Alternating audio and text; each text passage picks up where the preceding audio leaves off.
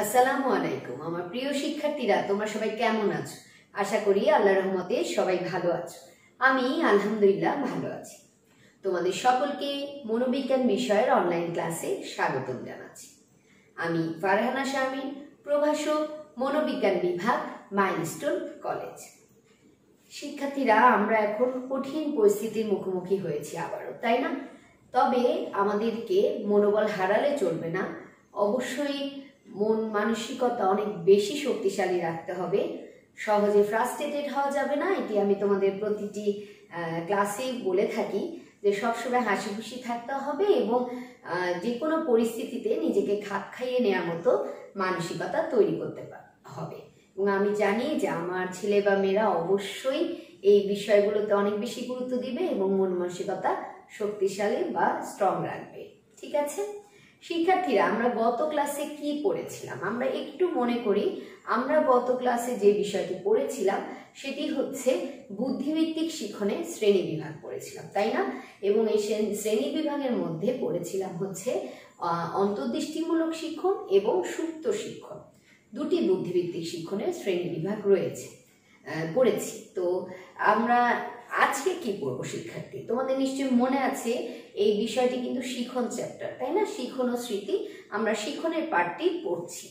তো দেখো কি সুন্দর স্লাইডে ছবি দেখতে পাচ্ছ।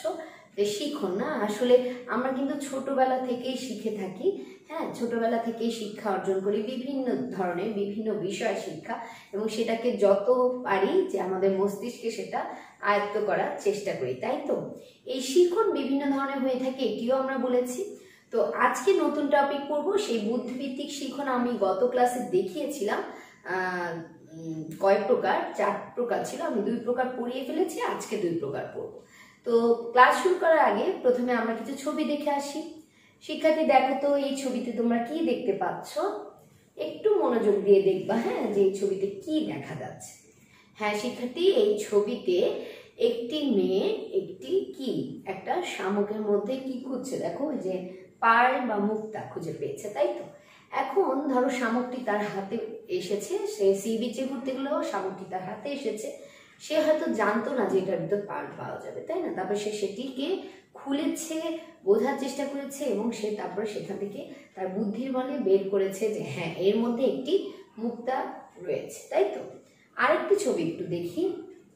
দেখো, এখানে লেখা আছে এটা কি লার্নিং এটি হচ্ছে ইনসিডেন্টাল লার্নিং বা প্রাসঙ্গিক শিক্ষণ। প্রাসঙ্গিক শিক্ষণ আসলে কি? এই ছবিতেও দেখো বাচ্চাটি কিছু বোঝার চেষ্টা করছে, কিছু দেখার চেষ্টা করছে, কিছু শেখার চেষ্টা করছে। যে আসলে সেই ছিদ্র বিশিষ্ট যে একটি চারকোনা স্কোয়ার যে তোমার গর্তের মতো, সেটা ডিজাইন করে যেটার ভিতরে আসলে কি আছে। হ্যাঁ এই যে প্রসঙ্গক্রমে যে শিক্ষণ, সেটাই প্রাসঙ্গিক শিক্ষণ। আজকে আমরা এই শিক্ষণ নিয়ে আলোচনা করব। আরেকটি বিষয় আমরা আলোচনা করব। তার আগে একটু দেখি ছবি। দেখো, কি দেখতে পাচ্ছ শিক্ষার্থী? যে বাচ্চা তার পুতুলকে খাওয়াচ্ছে, না? তো এটা আসলে কি? যে একটা বাচ্চা পুতুলকে কখন খাওয়ায়? বা নিশ্চয়ই সে দেখেছে জিনিসটা তারপরে সে সেটি করার চেষ্টা করছে, তাই না? আরেকটি ছবি দেখি। দেখো শিক্ষার্থীরা হ্যাঁ এই ছবিতে কি করছে একটু দেখো। আমার যদি মেয়ে আমার মেয়ে আছে, এরকম আমার মেয়ে কিন্তু এরকম করে, বুঝছ? যে সে ব্ল্যাকবোর্ড আছে আমার, সে ব্ল্যাকবোর্ডের সামনে সে এরকম করে দুষ্টুমি করে, তার মানে খেলনাদের নিয়ে তাদেরকে স্টুডেন্ট বানায়, সে টিচার হয় এবং তাদেরকে এভাবে পড়ায় হ্যাঁ? তো এটা আমার মেয়ে কেন করছে? কারণ সে আমাকে দেখে যে আমি পড়াই, তাই না? আমি বোর্ডে পড়াচ্ছি, এই জিনিসটা সে আমাকে দেখে দেখে সে করছে, তার মানে অনুকরণ এই ধরনের শিক্ষণের একটি নাম আছে, সেটি হচ্ছে অনুকরণ ও মডেলিং, ঠিক আছে? তো আজকে আমরা এই দুটি শিক্ষণ নিয়ে আলোচনা করব, একটি হচ্ছে প্রাসঙ্গিক শিক্ষণ, আরেকটি হচ্ছে অনুকরণ এবং মডেলিং। তাহলে আজকে আমাদের শিক্ষণ ফল কি হবে, শিক্ষার্থী? দেখো শিক্ষণ ফল হবে যে বুদ্ধিভিত্তিক শিক্ষণ হিসাবে প্রাসঙ্গিক শিক্ষণ এবং অনুকরণ মডেলিং যে শিক্ষণ এই দুটি শিক্ষণ বর্ণনা বা ব্যাখ্যা তোমরা করতে পারবে তাহলে চলো শিক্ষার্থী আমরা আমাদের মূল পড়ায় চলে যাচ্ছি। তোমাদের গত ক্লাসে আমি একটি চার্ট দেখিয়েছিলাম আমি আবারও চার্টটি তোমাদের দেখাচ্ছি। দেখো এই চার্টটিতে আহ, চারটি ভাগ বলেছিলাম বুদ্ধিভিত্তিক বা কগনেটিভ লার্নিং এর। সেই চারটি ভাগের একটি অন্তর্দৃষ্টিমূলক বা ইমিটেশন লার্নিং দেখো সরি ইনসাইটফুল লার্নিং তারপরে ল্যাটেন লার্নিং বা সুপ্ত শিখন যেটা আমরা পড়েছি। ঠিক আছে, তারপরে আমরা ইনসিডেন্টাল লার্নিং যেটা আজকে পড়ব এবং ইমিটেশন এবং মডেল এটাও আজকে আমরা পড়ব, অনুকরণ ও মডেল তো এই দুটি আমরা গত ক্লাসে পড়েছি, আজকে পরবর্তী দুটি পড়ব, ঠিক আছে? তো প্রথমেই আসি যে প্রাসঙ্গিক শিখন আসলে কি? প্রাসঙ্গিক শিখন কাকে বলে?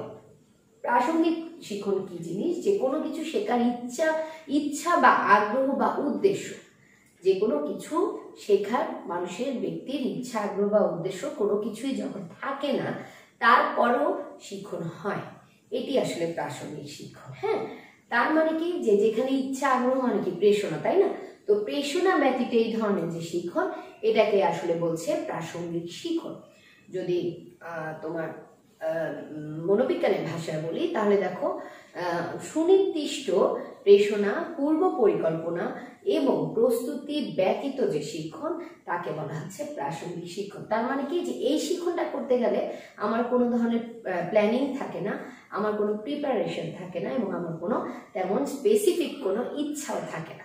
এই ধরনের যদি শিক্ষণ হয়, তাহলে প্রাসঙ্গিক শিক্ষণ, ওই যে প্রথমে দেখিয়েছিলাম যে প্রসঙ্গক্রমে শিক্ষণ যে একটি মানে একটি শামুকের ঝিনুকের মধ্যে সে পাল পাচ্ছে, মুক্তা পাচ্ছে, এটা কিন্তু সে প্রসঙ্গক্রমে ওই জিনিসটা হাতে নিয়েছে দেখে শিখতে পেরেছে। আবার ধরো কেউ ওই যে ম্যানহলের ভিতরে দেখার চেষ্টা হচ্ছে কি, তো এই জিনিসগুলো কিন্তু সে পরিস্থিতির উপর প্রসঙ্গক্রমে শিখেছে, তাই না? এটাই আসলে প্রাসঙ্গিক শিক্ষণ যে যেখানে কোনো কিছু প্রেষণা ইচ্ছা, আগ্রহ, উদ্দেশ্য কোনো কিছুই থাকবে না। আচ্ছা আমরা প্রতিটা সংজ্ঞা মানে সংজ্ঞার সাথে একটি করে মনোবিজ্ঞানী সংজ্ঞা পড়ি, তাহলে আমরা একটি মনোবিজ্ঞানী সংজ্ঞা দেখে নিই। মান এবং তার সহযোগীরা কি বলেছেন? দেখো, প্রাসঙ্গিক শিক্ষণ হলো কোনো ঘটনার প্রেক্ষিতে তোমরা একটু দেখে নাও এমন নিষ্ক্রিয় শিক্ষণ যা উদ্দেশ্যবিহীনভাবে সম্পন্ন হয়। ঠিক আছে, এটা কি বলেছেন? মান এবং তাদের সহযোগীরা উনিশশো চুয়াত্তর সালে। এটা, এটাই কথা যে একটা ঘটনা বিদিত যেটা উদ্দেশ্যবিহীনভাবে হবে এবং যেটা শিখন মানে মোটামুটি কোনো রকম ভাবে হবে, কিন্তু তারপর শিখবে সে হ্যাঁ? যেটা কোনো উদ্দেশ্য থাকবে না। তাহলে প্রাসঙ্গিক শিক্ষণের সংজ্ঞা পড়ে নিলাম, আমরা এখন একটু ছবি দেখি। তোমরা এখানে একটি বাস দেখতে পাচ্ছ, তাই না? এখানে একটি বাস দেখতে পাচ্ছ। এই বাসটা, আমরা অনেক সময় হয় কি, আমি বাস কেন দিয়েছি? যেমন ধরো, আমার ক্ষেত্রে যে জিনিসটা হয়, আমি যদি লং জার্নিতে যাই, সেটা বাসে হোক বা প্রাইভেট কারে হোক, আমি রাস্তা দিয়ে যেতে যেতে লং জার্নিতে দোকানের নাম পড়তে থাকি, বুঝছ? মানে দোকানগুলো আছে না যে রাস্তায় যে দোকানগুলো আছে, একটার পর একটা নাম পড়তে থাকে হ্যাঁ? এরকমই ধরো এরকম একটা দোকানের নাম এখানে দেখতে পাচ্ছ টিভিএস এর একটা দোকান নাম আবরার হ্যাঁ? এরকম ধর একটা নাম পড়ছে না আবরার নাম পড়ে হয়তো বা আমার কোনো আত্মীয় স্বজনের নাম আবরার, অথবা আমার কোনো ভাইয়ের নাম অথবা আমার কোনো ভাগ- ভাগ্নের না। আমার এটা মনে আছে যে হ্যাঁ এই জায়গায়, রাস্তার এই জায়গায় টাঙ্গাইল হোক বা যেখানে আমার বাড়ি যেহেতু নাটোর, আমি টাঙ্গাইল দিয়ে যাব। তো ওখানে অথবা যমুনা ব্রিজের ওখানে আমি একটা এরকম শপ দেখেছিলাম, হুন্ডার একটা শপ যেখানে নাম ছিল আপনার আমার এটা মাথায় আছে, তাহলে আমার এরকম একটা শিখো হয়ে গিয়েছে। এখন যদি আমার কোনো আত্মীয় হঠাৎ করে আমাকে বাড়ি যাওয়া বা আমাকে জিজ্ঞাসা করে যে আচ্ছা হুন্ডা কিনতে চাচ্ছি বা বাইক কিনতে চাচ্ছি, এরকম একটা ভালো দোকান কোথায় পাবো? হ্যাঁ তখন আমার হঠাৎ মনে হবে হ্যাঁ এই জায়গায় আমি এরকম একটা দোকান দেখেছিলাম। তখন আমি তাকে বলব যে হ্যাঁ আমি এই রাস্তায়, টাঙ্গাইলের এই রাস্তায় অথবা যমুনা ব্রিজের এই রাস্তায় বা এখানে এমন একটি গাড়ি শোরুম দেখেছিলাম বাইকের তুমি ওখান থেকে দেখতে পারো। এই যে আমার মনে আছে, এটা কি আমাকে কি শিখিয়েছে সে শিখাই এটি হচ্ছে আসলে প্রসঙ্গ আহ, প্রসঙ্গক্রমে শিখেছি এবং এখানে আমাকে কেউ পুরস্কারও দিতে চাই সো এটাই হচ্ছে প্রাসঙ্গিক শিক্ষণ তো আশা করি তোমরা বুঝতে পেরেছ যে প্রাসঙ্গিক শিক্ষণ কাকে বলে। ঠিক আছে শিক্ষার্থীরা তাহলে আমি পরবর্তী বিষয়ে চলে যাচ্ছি। শিক্ষার্থীরা আমরা তখন প্রাসঙ্গিক শিক্ষণের সংজ্ঞা শিখলাম। এখন আমরা একটি সরাসরি গবেষণায় চলে যাই। একজন মনোবিজ্ঞানী, উনি আমেরিকার জেমস জে জেনকিন্স, উনিশশো তেত্রিশ সালে প্রাসঙ্গিক শিক্ষক সম্পর্কিত একটি গবেষণা করেছেন হ্যাঁ? ওখানে উনি কি করেছেন? তোমরা স্ক্রিনে আগে জেনকিন্সের ছবিটা আমরা দেখিনি, উনি হচ্ছেন জেমস জে জেনকিন্স, একজন আমেরিকার মনোবিজ্ঞানী। উনি কি গবেষণা করেছেন? উনি বেসিক্যালি দুটি দল নিয়েছেন, একটি প্রথম দল এবং আরেকটি হচ্ছে দ্বিতীয় দল। এই দুটি দলে চারজন করে সদস্য রয়েছে এই দল দুটিকে নিয়ে উনি পরীক্ষাটি পরিচালনা করেছে এক্ষেত্রে প্রথম দলকে উনি বলেছেন যে বিশটি বাক্য দিয়েছেন এবং জোরে জোরে পড়ার জন্য নির্দেশ দিয়েছেন। দ্বিতীয় দলকে যা শুনতে বলেছেন, আর কিছু বলেনি এরপর যখন বৃষ্টি বাক্য বলা শেষ হয়ে গেল, এরপর দুটি দলকেই জেমস জেনকিন্স দুটি দলের কাছ থেকেই শুনেছেন কে কতটুকু মনে রাখতে পেরেছে, ঠিক আছে? এই ক্ষেত্রে দেখা গেল যেহেতু দ্বিতীয় দল মানে শুনেছে তাদের একটা উদ্দেশ্য ছিল, তাদেরকে বলা হয়েছে যে শোনো, তারপরে তারা বুঝেছে হয়তো আমাকে, আমাদেরকে জিজ্ঞেস করা হবে। সো দ্বিতীয় দল কিন্তু ভালো করবে, ঠিক আছে? কিন্তু এখানে তোমরাই বলো যে প্রাসঙ্গিক শিক্ষণটা আসলে কোন দলের হবে? হ্যাঁ শিক্ষার্থী, আমি জানি তোমরা সামনে থাকলে বলেই দিতে পারতা। প্রথম দলের প্রাসঙ্গিক শিক্ষণ হবে। কীভাবে? হ্যাঁ কীভাবে হবে বলছি দেখো, প্রথম দলে কিন্তু কোনো উদ্দেশ্য ছিল না শেখা তাকে জাস্ট ইনস্ট্রাকশন দেওয়া তুমি জোরে জোরে বিশটা বাক্য বলো। তারা বলে গিয়েছে। দ্বিতীয় দল কিন্তু শুনতে বলা হয়েছে এবং তারা সেইভাবেই চিন্তা করেছে। পরে তাদেরকে যখন ধরা হয়েছে, অবশ্যই তারা ভালো করেছে। কিন্তু প্রথম দলও কিন্তু কম করেনি। তারাও কিন্তু অনেকগুলো বাক্য মনে রেখে বলতে পেরেছে। তার মানে এই যে বিশটা বাক্যর মধ্যে যতগুলোই বলতে পেরেছে, এটি হচ্ছে প্রথম দলের প্রাসঙ্গিক শিখন ঠিক আছে? কারণ তার প্রসঙ্গ কমে শিখছে তার কোনো ইচ্ছা ছিল না তাদের কোনো পুরস্কৃত বা উৎসাহ দেওয়া হয় তো জেমস কিন এখান থেকেই এই দুটি ধরনের গবেষণায় বলেছেন যে আসলে এদেরও প্রাসঙ্গিক শিক্ষণ সম্ভব। আশা করি তোমরা বুঝতে পেরেছ। শিক্ষার্থীরা আমাদের কিন্তু প্রথম শিক্ষণ ফল শেষ হয়ে গেল। এবার আমরা আসি দ্বিতীয় শিক্ষণ ফলে দ্বিতীয় শিক্ষণ ফল কি ছিল? অনুকরণ ও মডেলিং। আচ্ছা তোমরা স্ক্রিনে কি দেখতে পাচ্ছ? এটা কি পাখি বলো তো? দুইটি পাখি দেখতে পাচ্ছ, দেখো তো। একটি হচ্ছে টিয়া পাখি, একটি হচ্ছে ময়না পাখি। আচ্ছা এই দুটো ছবি কেন দিয়েছি? কারণ এই দুটো ছবি কিন্তু মানুষের কথা শুনে সেটা বলার চেষ্টা করে, তাই না? অনেক মানে এটা সম্পূর্ণ এই পাখিগুলো অনুকরণ প্রিয় মানুষকে অনুকরণ করে, তাই না? এর জন্য। আর একটা ছবি দেখো, এখানে কি দেখতে পাচ্ছ? যে মসজিদের সামনে একজন বয়স্ক লোক আছে, বা ওটার হয়তো দাদা আরেকটা আরেকজন দেখতে পাচ্ছ একজন ইয়াং বয়সে একজন ছেলে। ছেলেটা কি করছে বলো তো হ্যাঁ ছেলেটা সালাম দিচ্ছে। আসসালামু আলাইকুম। এবং তার উত্তরে একজন নিশ্চয়ই বলবে, দেখো এরকম যে, ওয়ালাইকুম আসসালাম।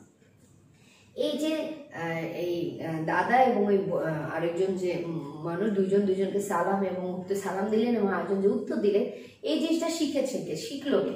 ওই যে ছোট যে নাতিটার সাথে আছে দাদা, সে। তাই না? এই যে ও বুঝছে যে কেউ কাকে বয়সে বড় হলে বা দেখে বাবা, দাদা কাউকে সালাম দিচ্ছে, তো এখান থেকে কিন্তু সে এই অনুকরণ করে শিখে গিয়েছে যে হ্যাঁ আমাকেও সালাম দিতে হবে। ঠিক আছে? এটি আসলে অনুকরণ মডেলিং যে কাউকে আদর্শ মনে করে শিখন। যেমন ধরো, এই শিখন এই চিত্রটা দেখো যে একটা বাচ্চা ডাক্তার না, সে তার টয়েসকে কি করছে যে ডাক্তার মানে ট্রিটমেন্ট করছে। এরকম মজার বিষয় যেন আমার দুই বাচ্চা এরকম আমাকে ট্রিটমেন্ট করে। ডাক্তার সেট আছে তাদের, তারা এরকম করে ট্রিটমেন্ট করে। তো এগুলো একটা মজা, না? তারা দেখে শিখছে, তারা হয়তো ইউটিউবে সেটা দেখেছে, আমার ফ্যামিলিতে বা আমাদের মধ্যে ডাক্তার নেই, কিন্তু তারা হয়তো দেখে শিখেছে হ্যাঁ? তো কোনো ভিডিও টিডিও দেখে শিখেছে। তো এই যে অনুকরণ, না? কোনো কিছু দেখে শিখা এবং সেটাকেই মনে প্রাণে নিয়ে সেটাকে বাস্তবে রূপান্তর করা, এগুলাই কিন্তু আসলে অনুকরণ মডেলিং বা এর মাধ্যমে, অনুকরণের মাধ্যমে শিখন ঠিক আছে? তো আমরা সংজ্ঞায় চলে যাই, অনুকরণ মডেলিং কি আসলে আমরা সবাই জানি যে মানুষ অনুকরণ প্রিয় সে সহজেই খুব সহজেই অন্যকে অনুসরণ করে। প্রিয় ব্যক্তিকে আদর্শ ও তার কাজকর্ম অনুকরণ করে, প্রিয় ব্যক্তিকে আদর্শ তার কাজকর্ম অনুকরণ করে নিজের আচরণে যে পরিবর্তন আনা হয়, এই ধরনের যে শিখন এদেরকে বলে অনুকরণ বা মডেলিং, অনুকরণ মডেলিং। আচ্ছা এটার মানে কি? যে হ্যাঁ যে একজনকে আদর্শ মনে করা, যেমন আমার আদর্শকে, আমার আদর্শ আমার বাবা। ঠিক আছে এরকম তোমাদেরও অনেকে আদর্শ হতে পারে, বাবা হতে পারে, মা হতে পারে, ভাই, বোন, যে কেউ আদর্শ হতে পারে এবং তাকে তোমার ভালো লাগে, তুমি তার মতো হতে চাও, তার কাজকর্ম, সে কীভাবে কাজ করে, সে কীভাবে চিন্তা করে, তার মানসিকতা কেমন, সেটা হওয়ার চেষ্টা করো, ঠিক আছে? এই যে চেষ্টা করে নিজের আচরণে পরিবর্তন করছ, এটি হচ্ছে অনুকরণ ও মডেলিং, খুব সহজ কথা, তাই না? তো একজন মনোবিজ্ঞানীর সংজ্ঞা আমরা একটু দেখে নিই তোমরা দেখো মর্গান এবং তার সহযোগীরা মিলে উনিশশো তিরানব্বই সালে একটি সংজ্ঞা দিয়েছে। তোমরা মর্গা- মর্গানকে দেখতে পাচ্ছ স্ক্রিনে। সংজ্ঞাটা দেখো যে অনুকরণ কি আসলে? দেখো, অন্যের আচরণকে অনুসরণ করা। তাই না? এটি এমন একটি প্রতিক্রিয়া যা একটি উদ্দীপকের প্রভাবে প্রতিক্রিয়া সংগঠিত হওয়ার নেয় তার মানে কি? যে একটা উদ্দীপক বা বিষয় বা বস্তু থাকবে, সেটা তোমাকে প্রভাবিত করবে এবং তুমি সেভাবে প্রতিক্রিয়া করবা। ঠিক আছে? এটি হচ্ছে অনুকরণ ও মডেলিং যে তোমার সামনে একটা কিছু থাকবে, তোমার আচরণ সেটাতে পরিবর্তিত হবে, সেটা দেখে তুমি শিখবা, তোমার আচরণে পরিবর্তন হয়ে যাবে। তো আশা করি অনুকরণ মডেলিং তোমরা বুঝতে পেরেছ। অনেক সহজ। তাহলে শিক্ষার্থী, চলো আমরা এখন একটি মনোবিজ্ঞানী গবেষণায় চলে যাই, যারা অনুকরণ মডেলিং নিয়ে গবেষণা করেছে। শিক্ষার্থীরা, আমরা অনুকরণ ও মডেল সংজ্ঞা পড়লাম। এবার একজন মনোবিজ্ঞানীর সংজ্ঞা দেখে আসি। এই অনুকরণ মডেলিং সম্পর্কিত শিখন নিয়ে গবেষণা করেছেন মনোবিজ্ঞানী বান্ধবরা তোমরা স্ক্রিনে দেখতে পাচ্ছ, উনি উনিশশো তেষট্টি সালে তার সহযোগীদের নিয়ে একটি গবেষণা করেছেন। ঠিক আছে, দেখতে পাচ্ছ বান্ধবরাকে আচ্ছা উনি কি গবেষণা করেছেন? হ্যাঁ উনিও দুটি দল নিয়ে গবেষণা করেছেন। দুটি দল নিয়েছেন যেই দলে শিশুরা ছিল ঠিক আছে? ধরো পাঁচজন সদস্য বিশিষ্ট দুটি দল নিয়েছে তাদেরকে যে কাজটি করতে দেখিয়েছিল সেটি হচ্ছে তাদেরকে সিনেমা দেখিয়েছিল। হ্যাঁ, এমন একটি চলচ্চিত্র যে যেখানে পুতুল মডেলিং হিসেবে কিছু মডেল লোক যে পুতুলকে আক্রমণ করছে। হ্যাঁ বিভিন্ন ধরনের পুতুলকে তারা আক্রমণ করছে। দুটি দলকে এই ধরনের একটি সিনেমা বা চলচ্চিত্র দেখিয়েছিল। তারপর যা করেছিল যে তাদের সামনে ধরে কিউট কিউট পুতুল তাদের সামনে দেয়া হলো, ঠিক আছে? এখন তারা কি করবে? তো দেখা গেল যে দুই দলই তাদেরকে এই যে আক্রমণটা দেখেছিল, শিখেছে, সেটাই করছে। হয়তোবা প্রথম দল একটু কম, কিন্তু দ্বিতীয় দলটি অনেক বেশি আক্রমণাত্মক আচরণ করছে। তার মানে কি? অনুকরণটা সবচেয়ে বেশি হয়েছে। দ্বিতীয় দলের তাই তো? তো এটি আসলে বান্ধবরা দেখিয়েছেন যে কোনো কিছু শিখালে শিশুদের বলো তাহলে তাদের সেই শিক্ষণটি হয়, তারা সেটা অনুকরণ করে সেটা পজিটিভ সেন্সেই হোক আর নেগেটিভ সেন্সে ঠিক আছে? তাহলে এটি হচ্ছে অনুকরণ মডেলিং জিনিসটা অনেক সহজ। এই বাংলার যে গবেষণাটি, এটি তোমাদের যোগেন্দ্র স্যারের বই নেই, এটি আমি অন্য একটি বই থেকে, আমিনুল হক স্যারের বই থেকে তোমাদেরকে গল্পটি বললাম আচ্ছা গবেষণাটি বললাম। তো আশা করি তোমরা ক্লাসটি বুঝতে পেরেছ। আমি আবারও বলছি যে তোমাদের যদি কোনো কোশ্চেন থাকে, অবশ্যই বলবা। তোমরা না কোশ্চেন করো না, আমি জানি না প্রশ্ন করো না কেন, হয়তো পুরো বোঝো, এর জন্য হতে পারে, আবার হয়তো বা জানি না, আমার খুব ইচ্ছা করে যে তোমরা প্রশ্ন করো। প্রশ্ন করলে না ভালো লাগে হ্যাঁ উত্তর দিতে ভালো লাগে। তো এই ছিল আজকের পড়া। তো দেখি তোমরা একটু মনোযোগ দিয়ে শুনেছো কিনা, একটু দেখি হ্যাঁ। তো আমরা একটু মূল্যায়নে চলে যাই। বরাবরের মতো তোমরা ক্লাসের খাতা নিয়ে বসে পড়ো, লিখবে। আমি বলার সাথে সাথে তোমরা লিখবে, ঠিক আছে? তো প্রথম প্রশ্নটি হচ্ছে যে প্রাসঙ্গিক শিখন কি? দেখো, প্রথম প্রশ্নটি, প্রাসঙ্গিক শিখন কি? আশা করি তোমরা সবাই লিখে ফেলেছ। কি? মনে আছে? পূর্ব পরিকল্পনা, প্রস্তুতি, সুনির্দিষ্ট প্রেষণা ছাড়া যে শিক্ষণ সেটি হচ্ছে প্রাসঙ্গিক শিক্ষণ ভেরি গুড আচ্ছা আমরা এবার দ্বিতীয় প্রশ্ন চলে যাচ্ছি। তোমরা লিখে ফেলো ঝটপট। অনুকরণ ও মডেলিং সংক্রান্ত যে পরীক্ষণ করেছেন, এমন একজন মনোবিজ্ঞানীর নাম বলো। খুব ইজি একটু আগে দেখেছ, একটু আগে দেখেছ। এরকম একজন মনোবিজ্ঞানীর নাম বলো তো, বা লিখে ফেলো তো তাড়াতাড়ি। হ্যাঁ শিক্ষার্থী, তোমরা ধরতে পেরেছ বাগদুরা হ্যাঁ উনি অনুকরণ মডেল নিয়ে গবেষণা করছে। ভেরি গুড খুবই খুশি হয়েছে। এই যে তোমরা পেরেছ, তোমরাও নাচানাচি করছ। খুব ভালো না? খুব খুশি না? হ্যাঁ থ্যাংক ইউ তোমরা যে ক্লাসটি মনোযোগ দিয়ে দেখেছ, এটি হচ্ছে তার প্রমাণ। তারপর আমি আশা করব যে তোমরা অবশ্যই সবাই দেখবে হ্যাঁ? সবাই দেখলে আমাদের ভালো লাগবে ভিডিওটি। তো, এবং তোমরা বুঝতে পারবে, খুবই ইম্পর্টেন্ট টপিক ঠিক আছে? তো শিক্ষার্থীরা, এখন দেখো থ্যাংক ইউ এত সুন্দর নাচার জন্য, ঠিক আছে? আমরা পরবর্তী স্লাইডে চলে যাচ্ছি। দেখো এডুকেশন হ্যাঁ? শিক্ষা, যেটা খুবই জরুরি। আমরা আমরা শিক্ষকরা শুধু তোমাদেরকে কি করতে পারি? যে যে পৃথিবীর সম্বন্ধে অনেক কিছু বা বাস্তব জগৎ বলো পুঁথিগত বিদ্যা সব কিছু তোমাদেরকে জ্ঞান দিতে পারি। তোমরা সেটাকে অবজার্ভ করবা, সেইভাবে শেখার চেষ্টা করবে। এইভাবেই কিন্তু আসলে শিখন হয়, তাই না? তোমার নিজের বুদ্ধির বলে শিক্ষাটা করতে হবে। তোমাদের শিক্ষার শিক্ষণের প্রাথমিক ধাপটা কি বলতো? এই যে পরিবার তাই না? পরিবার থেকে কিন্তু আসলে শিশু শিক্ষণ শুরু করে তারপরে আস্তে আস্তে সেটি এরপরে যায় বিদ্যালয় তারপরে আহ, সঙ্গীতার বা পিয়ার গ্রুপ এদের সাথে শিখে তাই তো? তো শিক্ষণটা অনেক জরুরি। শিক্ষার্থী অবশ্যই প্যারেন্টসদের কাছ থেকে বলো আর বিদ্যালয় থেকে বলো অবশ্যই ইতিবাচক শিক্ষণগুলো অবশ্যই গ্রহণ করবে। এটুকুই তোমাদের কাছে আজকে প্রত্যাশা করছি। আজকে ক্লাসটা এখানেই শেষ করছি। থ্যাংক ইউ থ্যাংক ইউ অনেক অনেক ধন্যবাদ। আমি জানি, তোমরা জানো যে আমি তোমাদেরকে অনেক ভালোবাসি। ভালো থেকো, সুস্থ থেকো, সাবধানে থেকো এবং বাসায় থেকো। আল্লাহ হাফেজ।